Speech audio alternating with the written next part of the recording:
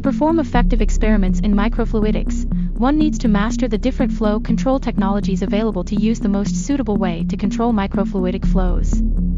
The main flow control solutions can be divided in three sections, pressure-based solutions, volume displacement and passive techniques.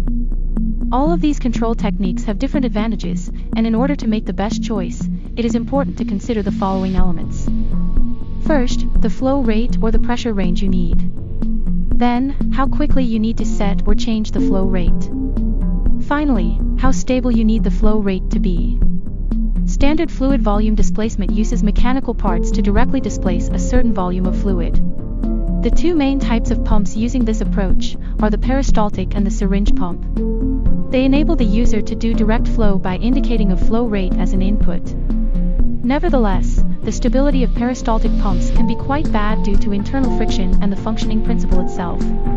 Other issues, such as high shear stress and contamination of the fluid can be a problem in particular for biological experiments. Concerning syringe pumps, the main drawbacks are the lack of stability and low responsiveness. Fluigent's pressure controllers use a compressed air source to pressurize a reservoir containing the fluid. The reservoir is connected to the microfluidic chip via a tube. The fluids will move because of the pressure difference. The fluidic resistance is a function of the geometry of the channel and the viscosity of the fluid. A very precise pressure source will thus deliver a precise and stable flow. The great responsiveness of pressure sources makes it one of the most powerful flow control methods on the market. By using an additional flow rate sensor, one can even use a pressure controller to control flow rate directly. The lineup system, controlling and monitoring both pressure and flow rate contains a simple way of limiting the pressure and or flow rate. In a way, associating a pressure source with a flow rate sensor combines the main strengths of syringe pumps and pressure solutions. The user no longer has to calibrate or evaluate the fluidic resistance of its system, but can rely on a feedback loop to control the flow. The pressure controllers, sensors, and software sold by Fluigent are able to deliver stable and precise flow rates with very low settling times.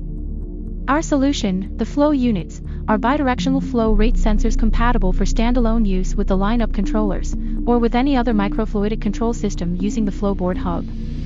Available in seven flow rate ranges, the flow unit allows for pressure regulation using the direct flow control algorithm to monitor or control the system by flow rate instead of pressure. The product range offers an extensive choice of flow rate ranges to best match your needs, over the range of 7 nl/min to 40 ml per minute. Intuitive to use, the flow unit have a straightforward set and use, and allow one to monitor and control experiment within a large array of liquids that can be tuned and calibrated. A micro heater provides a minimal amount of heat to the medium monitored. Two temperature sensors, located on both sides of the heat source, detect temperature variation. The flow rate is then calculated based on the thermal desorption, which is directly related to the flow rate. Depending on the model, Fluigent provides a dedicated tubing and fitting kit to insert the sensor in the fluidic path, and benefit from the optimal performance for your experiment.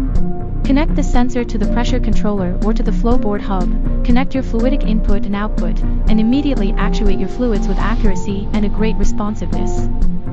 Fluigent's flow unit will ensure you to get the high performance of pressure-based flow control, while staying in your standards by monitoring and control in flow rate instead of pressure. Visit Fluigent.com for more information about microfluidic instrumentation and find out the best solution for your needs.